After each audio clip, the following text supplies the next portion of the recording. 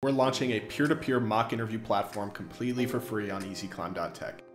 It's a relaxed, realistic environment to help you tackle coding questions and system design problems just like you will in an actual interview. We've even integrated a live coding pad right into the mock session. And for system design, we've added Excalidraw, making it easier to sketch ideas and clearly map out your architecture. Best part of the platform is after you're finished, you'll get real feedback from real engineers who are also in interview pipelines all around the industry. We're even working on a rating system with Elo. You'll be able to see how you match up with other candidates on the platform.